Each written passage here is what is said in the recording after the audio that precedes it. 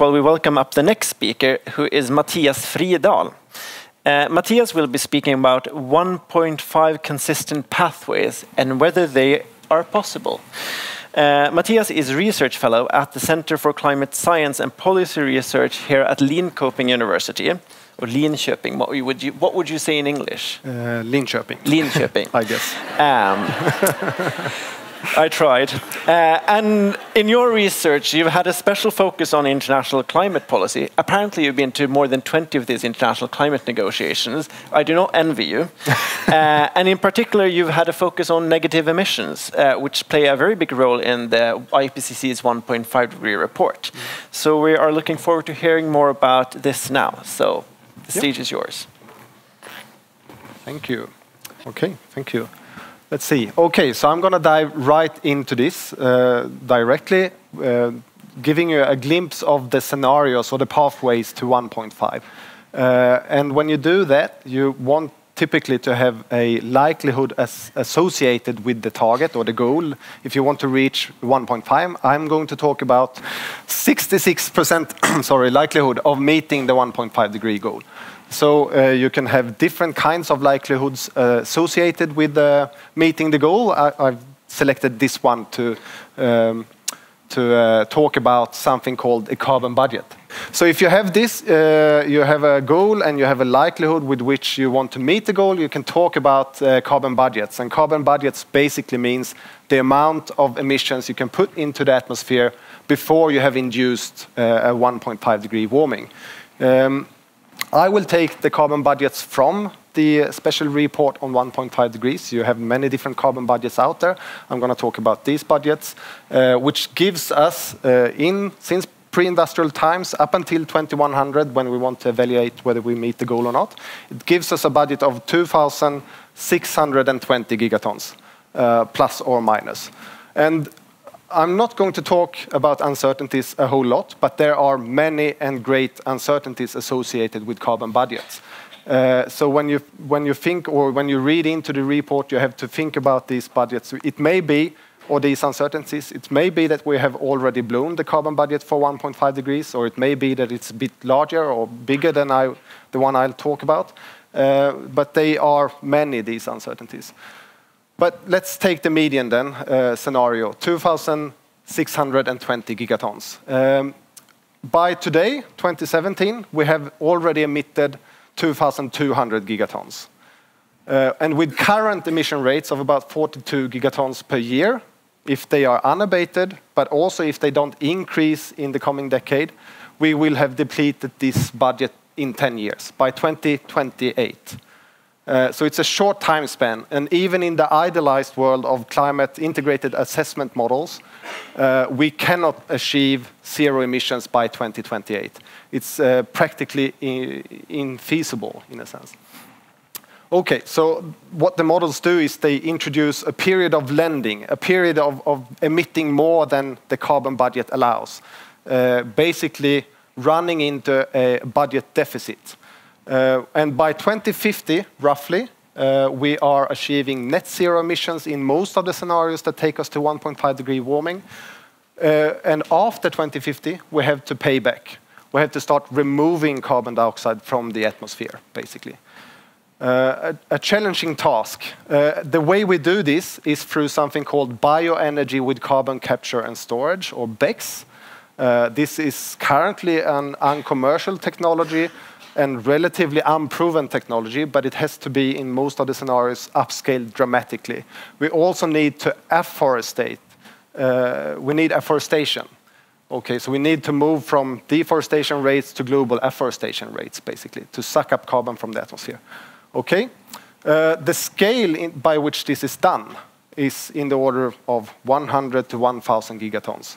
So the more extreme of these scenarios, they apply a huge amount of this kind of lending from the future generations. Uh, okay, and why is the span so big? Uh, this has to do with a broad range of scenarios. So I'm going to show you two illustrative models or two illustrative scenarios basically on the far uh, sort of extremes of, of, the scenario landscape. This one uh, is the most ambitious one, or one of the most ambitious ones when it comes to immediate mitigation action. So if you reduce emissions in the coming de decade very, very dramatically, uh, then you will not have to rely on so many negative emissions in the future, basically. In this scenario, you don't even have to apply BECCS at all. Uh, you can do with afforestation only. But it also means that the energy demand in these scenarios re are reduced dramatically. The energy system is actually shrinking in these kinds of scenarios. On the other end of the scenario, or different scenarios, you have typically these kinds of scenarios. With continued path dependency, you continue to, uh, to uh, demand en energy at similar scales as today, and, and you eat the same kind of food or even more meat in the future and so on and so forth. You have uncoordinated international politics, uh, which will create a need for technological fixes in the future and a much higher dependency on bioenergy with carbon capture and storage. But in both of these cases, we do meet in, the, in these scenarios the 1.5 degree goal. So it's theoretically possible to achieve it in many different ways, according to the scenarios. The question is if it's practically feasible, if, it's, uh, if there are political preconditions for this and social preconditions. And if you start looking into this, uh, on this graph you have the different scenarios I showed you before, the, the two extremes and all the scenarios in between that are ass assessed by the uh, 1.5 degree report. Um, most of them, or almost all of them, say that we need to achieve net zero emissions by roughly 2050. The most ambitious climate uh, target we have in the world today is the Swedish one. It's by far the most ambitious climate target. It achieves net zero, if, if we fulfill it, it achieves net zero emissions by 2045. Roughly the same as what's requested on global scale to meet the 1.5 degree goal in these scenarios. Okay, another way of looking into this is to look at the nationally determined contributions to the Paris Agreement that Marco spoke about. Uh, if you look at the collective ambition of these, it takes us somewhere between 50 to 58 gigatons in the period 2020 to 2030. We are, if we do everything we promise in the world, we are actually going to increase emissions. Uh, that's the contributions to the Paris Agreement. And it's very different from the, the idealized, the scenario pathway, the cost-efficient uh, pathways uh, in the scenarios. Actually, in the IPCC report, there is also one section looking into the so-called emission gap by 2030. If you consider uh, a full implementation of NDCs, the most ambitious implementation of them, and then compare it to the median scenario for 1.5 degrees Celsius, you have an emission gap of a, approximately 27 gigatons. So the longer we postpone mitigation, the more we have to rely on negative emissions in the future. That's basically the, key takeaway message of this. And the harder, the, more problematic it will be to achieve 1.5.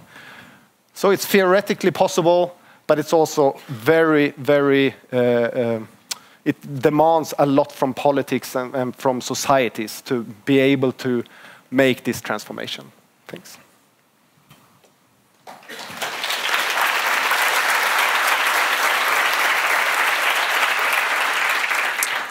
Uh, thank you very much for your presentation, Mathias. Uh, and before I let you sit down again, I want to ask you just one follow-up question on the last slide. Mm -hmm. You're saying it's theoretically possible, but very challenging to realize. What would you say is the biggest challenge? Uh, the fact that the, the scenarios do not, uh, they are not very good at capturing the political and social dimension of transformation. Uh, and the key challenge, I suspect, is not in technology and economics. It's probably in, in uh, achieving this or putting the right political framework in place in order to, to uh, achieve these scenarios and also to build social acceptance for these kinds of, of uh, pathways or, mm. or, strong political requirements that mm. we have to have to, to achieve them. Uh, I'm quite sure we will get back to just that area a bit later by one of the other speakers. Uh, but another question, uh, this might be a leading one, mm -hmm. but uh, this is a Nordic climate adaptation conference. And I checked it up, and Denmark has a goal of being a low emission society by 2050. Iceland has a goal of 50 to 75% emission reductions compared to 1990. Uh, Finland and Norway uh, are in line with the EU's EU-wide target of uh, at least 80% up to 95% reduction by 2050. And Sweden, as you mentioned, has a net zero by 2045. Is this enough? For 1.5, it's not enough. Uh, and and uh, I mean, also the Swedish goal is not enough. You, you have to sort of create space for countries like China, Brazil, South Africa. You mentioned the, the administration in the United States right now. Countries that are far from as, um, uh, as ambitious as uh, the Nordic countries. You need to create space for them to, to catch up eventually also. Mm. So no, it's not enough. Okay. So we have a bit more to work on. Yeah. But thank you again for your presentation, Mathias. So please take your seat. Um,